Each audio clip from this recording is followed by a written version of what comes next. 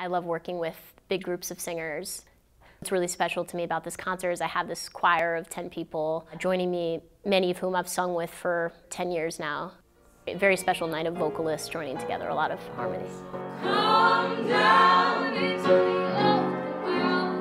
And I feel like any song we create is sort of a beautiful amalgamation of everyone's own piece of it.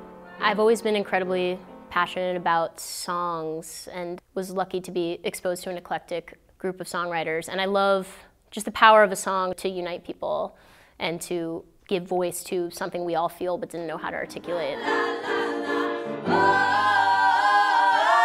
From a very early age, I was listening to Stevie Wonder and Bonnie Raitt and gospel.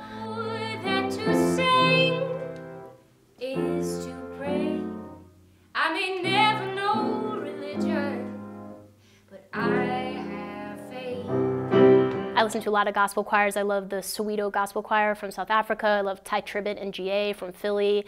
And then even in the great traditions of Broadway, just the, the idea of big groups. I've just always felt connected to it on a level I can't quite explain. I think there's nothing more powerful than the human voice, and I would love people to, to go out on the street singing.